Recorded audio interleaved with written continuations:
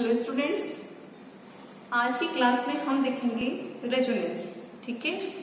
पिछली क्लास में आप इंडक्टिव इफ़ेक्ट देख चुके हैं इलेक्ट्रोमैग्नेटिक इफ़ेक्ट देख चुके हैं। आज हम देखेंगे रेजोनेंस अनुनाद, ठीक है? तो ये रेजोनेंस की जो अवधारणा है, ये किसने दी है? पोलिंग ने दी थी। किसने दी थी? पोलिंग साइंटिस्ट ने रेजोनेंस की अवधारणा दी थी। अब ये रेजोनेंस की अवधारणा क्या है? इसमें क्या होता है, जिस तरह हम देखते आए हैं कि इंडक्टिव इफ़ेक्ट है, उसमें सिग्मा इलेक्ट्रॉन्स की शिफ्टिंग हो रही थी पार्शियल शिफ्टिंग ठीक है? फिर हमने इलेक्ट्रोमेरिक इफ़ेक्ट देखा, उसमें पाई बॉन्ड्स की शिफ्टिंग हो रही थी, ठीक है? कंप्लीटली शिफ्टिंग हो रही थी। तो यहाँ भी इलेक्ट्रॉन्स की जो शिफ्टिंग होगी, वो कैसी होगी? पूर्णतया शिफ्टिंग होगी कंप्लीटली शिफ्टिंग होगी। और ये कैसा प्रभाव है? एक स्थायी प्रभाव है इंडक्टिव इफ़ेक्ट की तरह। ऐसा नहीं है कि जैसे इलेक्ट्रोमेरिक इफ़ेक्ट में होता था कि कोई रिएजेंट आया तो ये प्रभाव प्रदर्शित हुआ, नहीं तो कोई प्रभाव प्रदर्शित नहीं होगा। ऐसा यहाँ नहीं होता ये स्थायी प्रभाव होता है। ये किसी के प्रेजेंस पर निर्भर नहीं करता। ठीक है? अब हम देखते हैं कि ये अनुनाद होता क्या है। तो क्या होता है? जब किसी कार्बनिक यौगिक का उसके सारे गुणधर्मों को एक ही संरचना द्वारा हम स्पष्ट नहीं कर पाते समझा नहीं पाते हैं। तो उसकी एक से अधिक संरचनाएँ उपस्थित होती हैं और उन वो संरचनाएँ इसके अलग अलग गुणों को प्रदर्शित करती है, ठीक है? तो किसी कार्बनिक यौगिक की एक से अधिक संरचनाओं के द्वारा उसके सभी गुणधर्मों को प्रदर्शित किया जाता है, जिसमें ये बनने वाली अनुनादी संरचनाएँ काल्पनिक होती है। कार्मिक यौगिक का ये गुणधर्म ही अनुनाद कहलाता है। कि किसी यौगिक की, किसी यौगिक की सभी गुणों को प्रदर्शित करने के लिए एक से अधिक संरचनाओं की आवश्यकता होती है और ये संरचनाएँ अनुनादी संरचनाएँ कहलाती हैं, जो कि काल्पनिक होती हैं। अणु का या फिर यौगिक का ये गुणधर्म ही अनुनाद कहलाता है, ठीक है? तो अनुनाद में क्या होगा?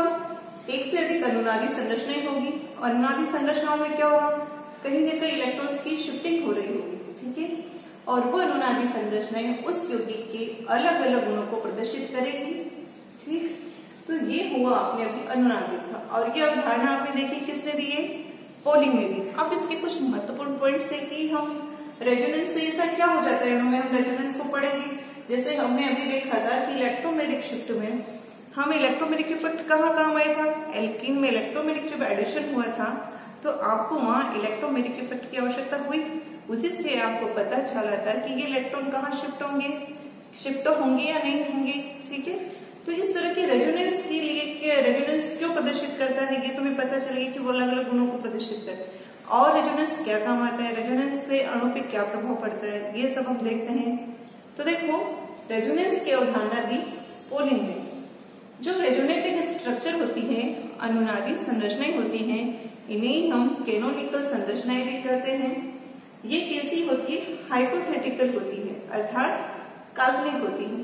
तो जो अनुनादी संरचनाएँ होती है कैनोनिकल संरचनाएँ होती है, ये कैसी होती है? काल्पनिक होती है। हम अभी देखेंगे हम कि किस अनुनादी संरचनाओं की हम बात कर रहे हैं, ठीक है? अब इन अनुनादी संरचनाओं का एक संकर होता है उसे हम रेजोनेंस हाइब्रिड अनुनादी संघर कहते हैं। ये कैसा होता है? वास्तविक होता है। इसको भी हम उदाहरण के द्वारा देखेंगे। रेजोनेंस क्या करता है? जो रेजोनेटिक एनर्जी है अनुनादी ऊर्जा को तो क्या करता है? उनकी बढ़ा देता है। लेकिन जो पोटेंशियल एनर्जी है, उसको क्या करता है? कम करता है। और यदि अणु की पोटेंशियल एनर्जी कम हो जाएगी तो स्टेबिलिटी क्या हो जाएगी? बढ़ जाएगी। तो किसी यौगिक में जितना ज़्यादा रेजोनेंस होगा उसका स्थायित्व उतना ही ज़्यादा होगा, ठीक? तो रेजोनेंस क्या करता है? स्टेबिलिटी को बढ़ाता है। यहाँ एटम्स क्या होते हैं? लोकलाइज्ड होते हैं। जबकि जो इलेक्ट्रॉन्स होते हैं, वो क्या होते हैं? डीलोकलाइज्ड होते हैं। मतलब आपने लोकलाइज बॉन्ड और डीलोकलाइज बॉन्ड देखा था, ठीक? लोकलाइज मतलब जो कि एक ही जगह फिक्स रहता है और डीलोकलाइज मतलब जिसकी जगह चेंज होती रहती है। तो यहाँ जो एटम होते हैं, वो एटम तो अपनी ही जगह पर फिक्स होते हैं। लेकिन जो इलेक्ट्रॉन्स हैं, उनकी जगह चेंज होती रहती है। इसलिए वो इलेक्ट्रॉन्स क्या होते हैं? डीलोकलाइज होते हैं। हर अनुनादी संरचना में लॉन पेयर बॉन्ड पेयर और आवेश, ये सब क्या होता है? नियत होता है। चेंज नहीं होता है, ठीक है? टोटल आवेश जो कि शुरुआत में जो होगा, वही होगा, ठीक? ऐसे आवेश चेंज नहीं होता है अनुनादी संरचनाओं के पर।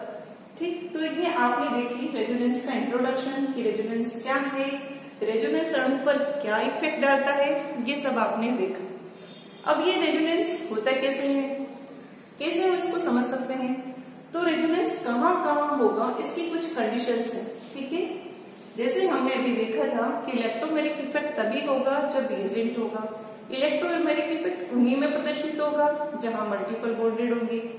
तो हम देखते हैं कि रेजोनेंस के लिए क्या कंडीशन होनी चाहिए। रेजोनेंस के लिए कंडीशन क्या होनी चाहिए?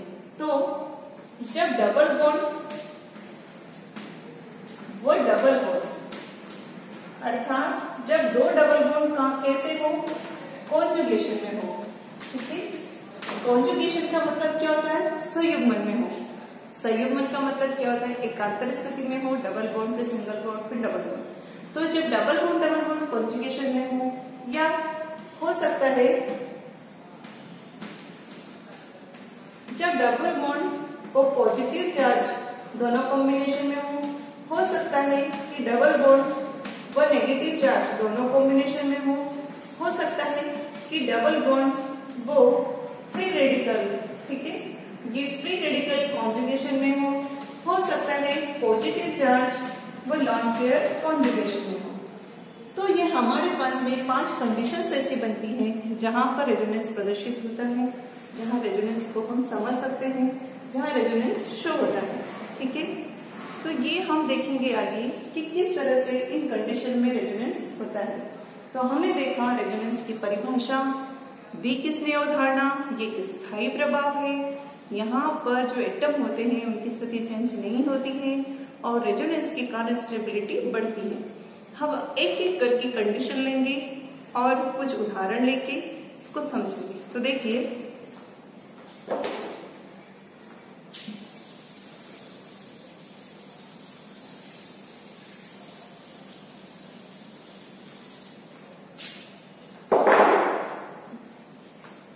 जैसे हमारी पहली कंडीशन है डबल बॉन्ड को डबल बॉन्ड कैसे हो? कॉन्जुगेशन में प्रेजेंट है ठीक है? देखो कैसे।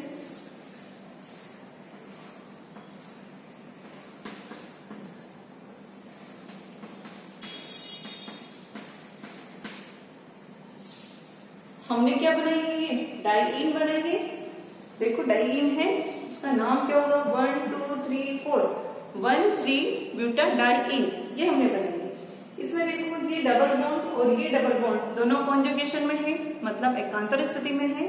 यहाँ देखो, ये डबल बॉन्ड है, फिर सिंगल बॉन्ड आ गया, फिर डबल बॉन्ड आ गया। तो क्या होगा? ये जो इलेक्ट्रॉन्स होंगे, ये कहा शिफ्ट होंगे? इस तरफ़ ये शिफ्ट हो जाएँगे। जैसे इसकी शिफ्टिंग इधर होगी तो इस पर क्या जाएगा? पॉजिटिव चार्ज आ जाएगा।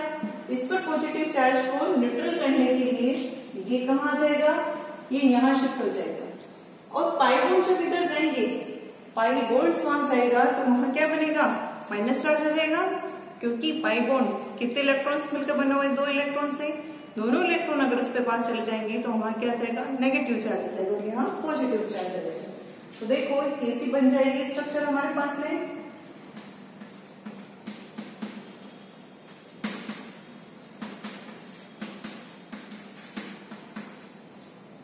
कुछ ऐसा बन जाएगा? देखो, ये पाइबोर्ड सी एस टू पे गया तो क्या है हमारे पास? माइनस चार्ज ये पाइबोर्ड यहाँ शिफ्ट हुआ तो यहाँ क्या गया? वन और यहाँ से वन चला गया तो यहाँ क्या जाएगा? पॉजिटिव चार्ज अब ये क्या संभावना है कि ये पाइबोर्ड इधर ही शिफ्ट हो? वे उधर भी शिफ्ट हो सकते हैं ना? क्योंकि ऐसा कोई मैटर नहीं है कि ये इधर ही शिफ्ट हो। तो यदि अगर ये दूसरी अपोजिट साइड पर शिफ्ट होंगी तो इसका उल्टा हो जाएगा। ये वाला यहाँ जाएगा तो यहाँ क्या जाएगा? नेगेटिव ये बॉन्ड यहाँ चला जाएगा तो यहाँ पाई वन बना देगा, और यहाँ क्या जाएगा? पॉजिटिव तो अगर वो चीज़ बनती है तो हमारे पास में क्या मिलेगा? ये मिल जाएगा।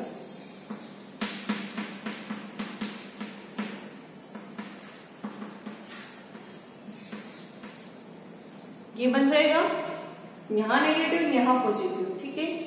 देखो, अनुनादी संरचनाओं को हमेशा एक ही लाइन में बनाते हैं, ठीक?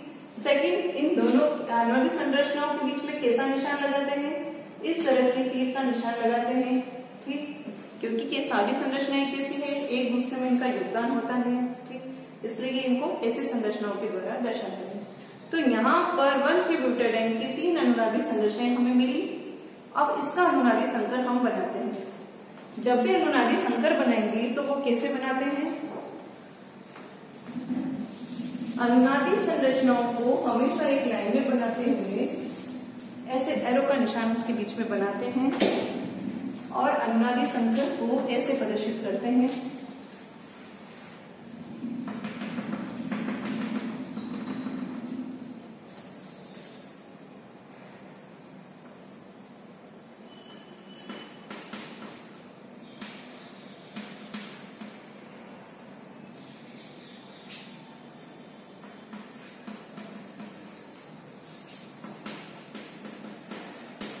देखो, मैंने क्या बनाया है?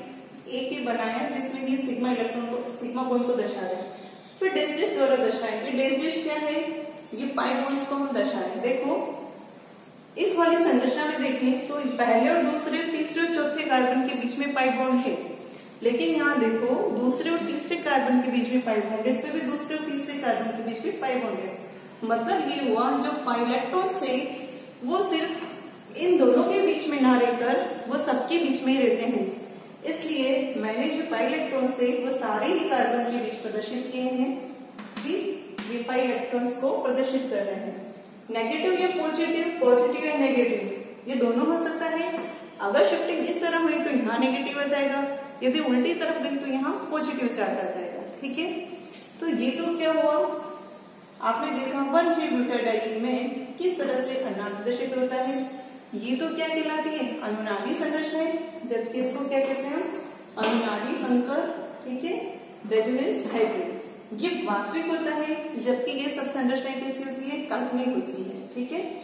तो इस तरह से हम इसको समझ सकते हैं। एक और उदाहरण हम लेते हैं।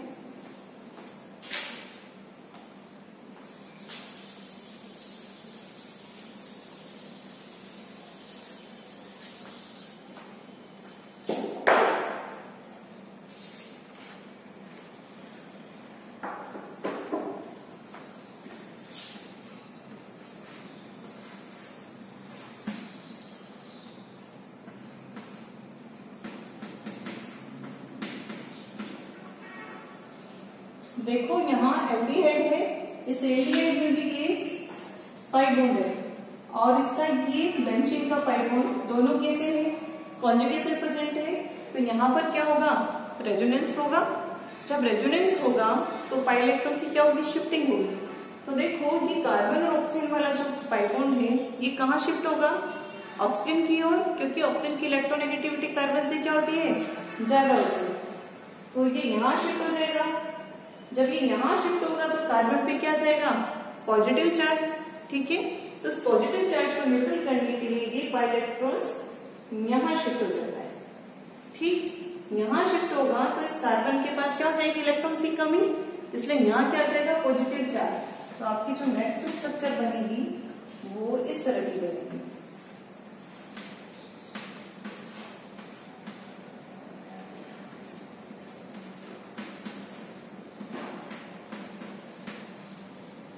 आपको पता है कि कार्बन कितने बॉन्ड बनाता है संयोजक बन चार। तो कभी भी रेजोनेटिक स्ट्रक्चर ऐसी नहीं होनी चाहिए जिसमें कार्बन कितने बंद बना रहा हो, पाँच। ठीक है? जितनी ही उसकी संयोजकता होती है, सामान्यतः रेजोनेटिंग स्ट्रक्चर भी उसको फॉलो करना चाहिए। ठीक है? तो यहाँ पर ऐसा नहीं हो कि आप कार्बन को चार की जगह पाँच सात संयोजक बंधों से बंधित कर दे। तो ये प्लस आ गया। अब क्या होगा? ये पाई इलेक्ट्रॉन्स यहाँ शिफ्ट होंगी इधर।